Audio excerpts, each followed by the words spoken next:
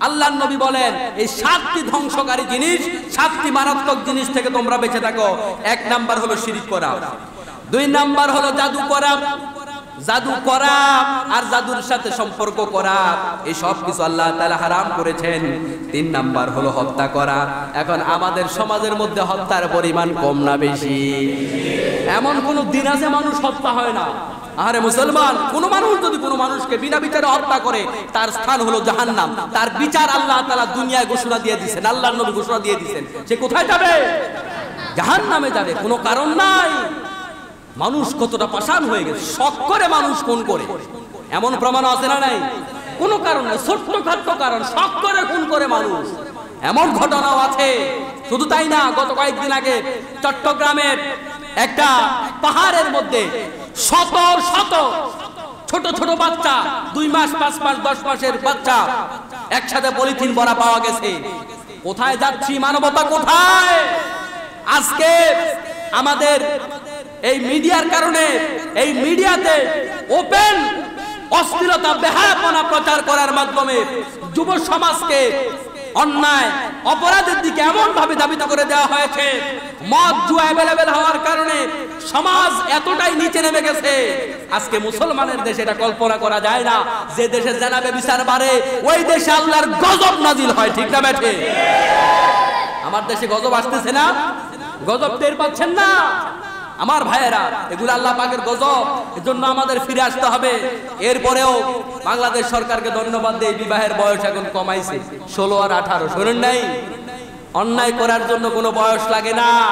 আমাদের সমাজের মুরব্বী গার্ডিয়ানদের দৃষ্টিভঙ্গিও পরিবর্তন করতে হবে। পোলাপান যদি কারোর সাথে খারাপ সম্পর্ক করে, কয় এই বয়সে একটু করেই। আর যদি পোলার বয়স আঠারো বছর, কয় যে বাবা বিয়া করব, কয় তা কত বড় বেয়াদব হয়ে গেছে। আছে না নাই? এটার জন্য আপনি মুরব্বী, আপনি দায়ী।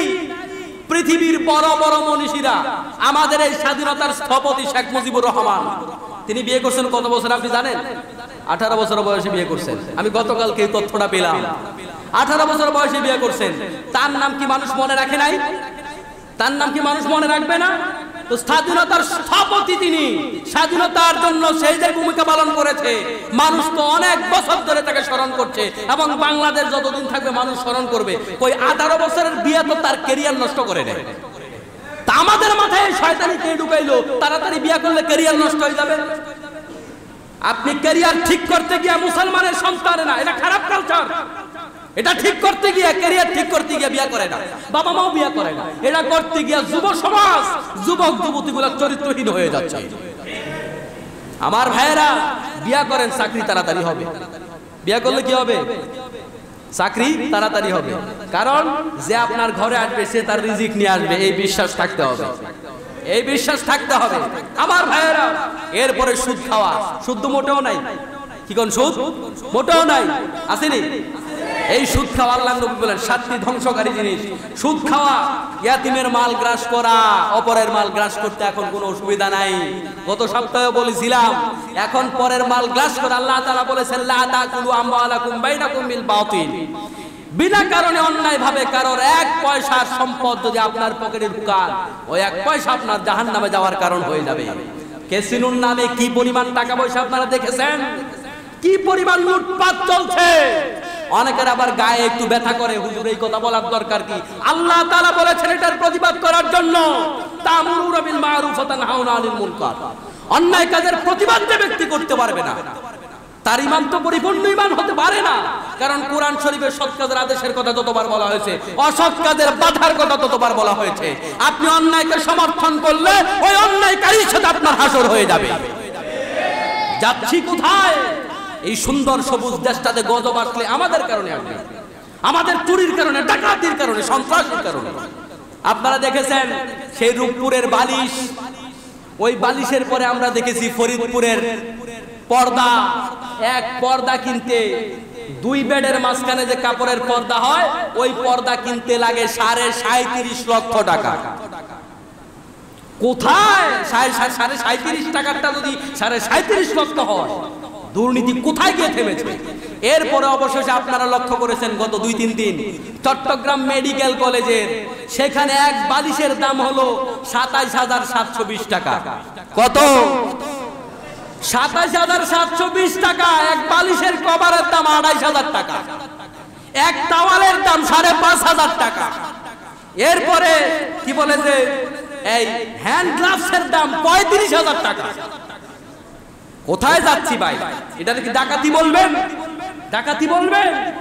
আমাদের এই গরিবের রক্তের গোড়া ট্যাক্স ভ্যাট আমাদের সম্পদগুলো এক শ্রেণির রাক্ষস ডাকাতেরা কুকুতিগত কুকিগত করছে।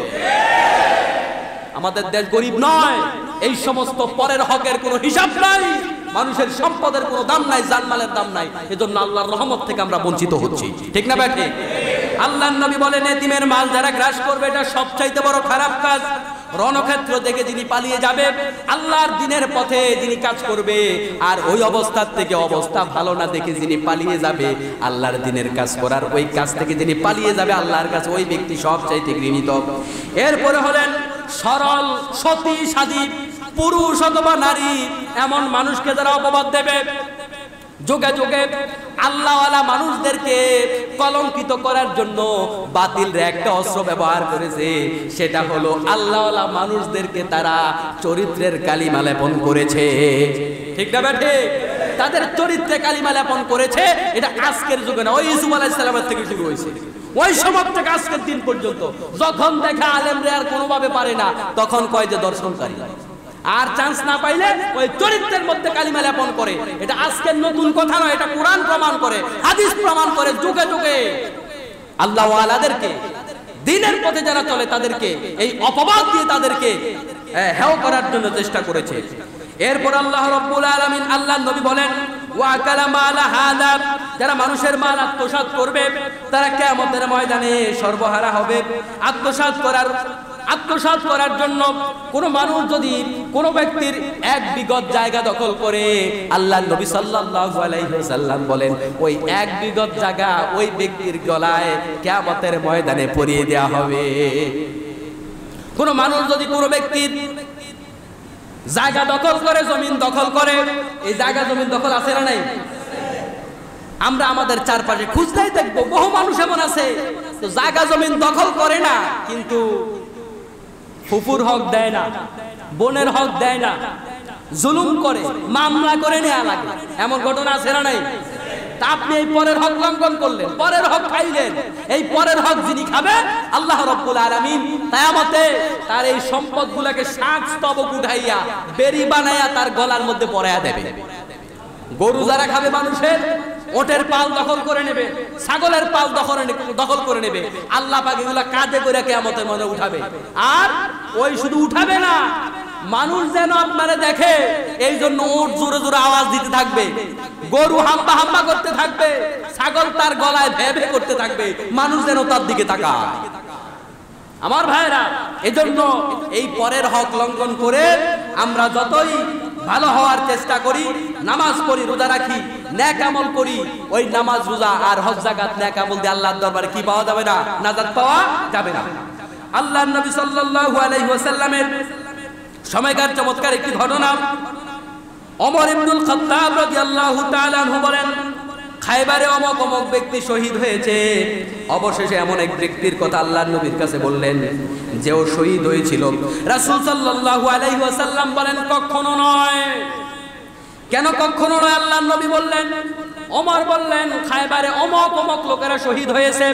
নাম বলতে বলতে আল্লাহ নবীর কাছে এমন একজন ব্যক্তির নাম বললেন, ওই ব্যক্তিও শহীদ হয়েছে। আল্লাহর নবী বলেন, কখনো নয়, ওই ব্যক্তি শহীদ হয় নাই। কেন শহীদ হয় নাই? এবার শোনেন। আল্লাহ নবী সাল্লাল্লাহু আলাইহি ওয়াসাল্লাম বলেন, ওই ব্যক্তি গনিমতের মাল থেকে একটি চাদর আত্মসাৎ করেছিল।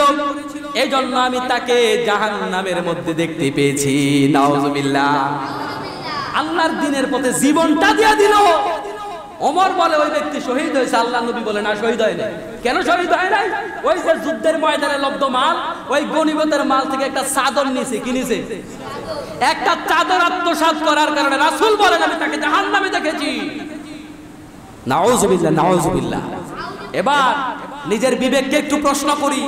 এই জুমার আলোচনাগুলো হলো আমাদের আত্মসংশোধনের জন্য। নিজের বিবেককে প্রশ্ন করার জন্য প্রত্যেকটা জুমায় নতুন কিছু বিষয় আসবে, ওই বিষয়গুলো নিজের সাথে মিলাবো। আমি এই অপরাধে অপরাধী কিনা? যদি হয়ে থাকি, আমি তওবা করব। এই জন্যই তো জুমার আলোচনা, নাকি? সংশোধনের জন্য। শুধু কাংসুক করা ঘুমানোর জন্য তো নয়। একটা চাদর বক্ষণ করে একটা মানুষ আল্লাহর দিনের পথে জীবন দিয়েও যদি ওই চাদরের গুণার থেকে মাপ না পায়, তাহলে আমি আপনি নামাজ, রোজা, হজ জাকাত করি। আমি আপনি তো আল্লাহর দিনের পথে অনেকেই জীবন দিতে আমরা রাজি না। তাহলে আমাদের কি অবস্থা হবে? আমরা যদি পরের হক লঙ্ঘন করি, পরের হক বক্ষণ করি। এই জন্য আমরা আজকের হাদিস থেকে বুঝলাম, হাদিসটি হলো আবু হরারা থেকে বর্ণিত। কার থেকে বর্ণিত? নাম মনে আছে তো? আবু হরারা মানে কি? বিড়ালের? বিড়ালের বাবা। আবু হরারা মানে বিড়ালের বাবা। এই আবু হরারা থেকে হাদিসটি বর্ণিত মুসলিম শরীফের হাদিস, গুরুত্বপূর্ণ হাদিস। তাহলে দুনিয়ায় যিনি অভাবগ্রস্ত, দুনিয়ায় যার সম্পদ নাই দুনিয়ায় যিনি সহায় সম্বলহীন ওই ব্যক্তি সবচাইতে বড় অসহায় নয়, ওই ব্যক্তি দেউলিয়া নয়, বরং যে ব্যক্তি দুনিয়াতে মানুষকে গালি দিয়েছে, মানুষকে অপবাদ দিয়েছে, মানুষের হক নষ্ট করেছে, মানুষকে হত্যা করেছে, মানুষকে প্রহার করেছে, জুলুম করেছে। এই জুলুমের গুণা নিয়ে যে ব্যক্তি হাজির হবে, ওই জুলুমের মীমাংসা করতে গিয়ে আল্লাহ রব্বুল আলামিন তার গুণা এবং নেকিগুলাকে পরিবর্তন করে দিয়া ওই জুলুম যার উপর করা হয়েছে, তার গুণাগুলো ওই জালেমের কাঁদি দিয়া তাকে জাহান্নামে দিয়ে দেবেন। ওই ব্যক্তি হলো সব চাইতে বড় দেউলিয়া। আল্লাহ রব্বুল আলামিন আমাদেরকে হেফাজত করুন। আমরা যেন আখিরাতে গিয়ে দেউলিয়া না হয়ে যাই, আমল কম হোক, নেক কম হোক ওই নেক যেন কেমতে কাজে লাগে ওটার জন্য আমাদেরকে জুলুম, মিথ্যাচার, অপবাদ, মিথ্যা সাক্ষী দিয়া এগুলা বন্ধ করতে হবে। তাহলে ন্যাক আমল যা নিয়ে যাব, ওই ন্যাক আমল আল্লাহর কাছে এটা হাজির করা যাবে। অন্যথায় ন্যাক আমল নিয়ে যাব, কিন্তু ন্যাক আমল থাকবে না ন্যাক আমল অন্যরা কেড়ে করে নিয়ে যাবে। আল্লাহ রব্বুল আলামিন আমাদেরকে এই হাদিস থেকে আমল করার তৌফিক দান করুন, আমিন।